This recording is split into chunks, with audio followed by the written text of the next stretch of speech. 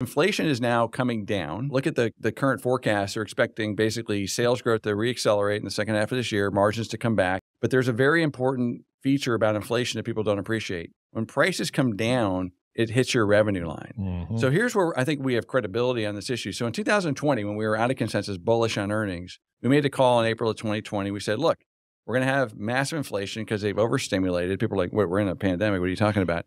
And it's going to be really bullish for earnings because it's going to go right to the bottom line because companies have laid everybody off and it's just going to accrue to the bottom line. It's operating leverage.